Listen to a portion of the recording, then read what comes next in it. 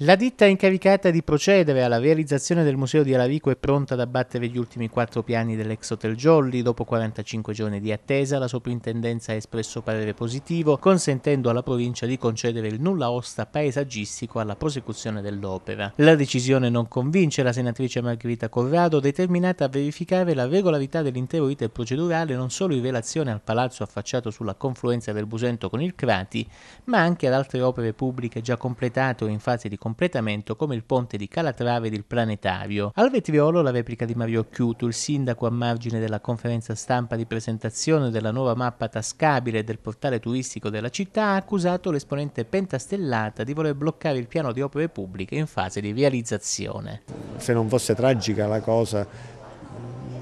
sarebbe anche da ridere perché sono venuti a chiedere il, il, nulla osta paesaggistico per il ponte di Calatrava, per il planetario che sono opere che risalgono a più di vent'anni fa dicendo che sono illegittime e quindi vanno demolite. E insomma è veramente vergognoso penso questo tipo di atteggiamento, è un atteggiamento che frena la crescita e lo sviluppo sostenibile di un territorio e oggi questi signori utilizzano le strutture dello Stato, i ministeri, quello della dei beni culturali, quello della giustizia, non per produrre cose positive, ma per eh, cercare di far fuori gli avversari. Salvatore Bruno per la CNews 24.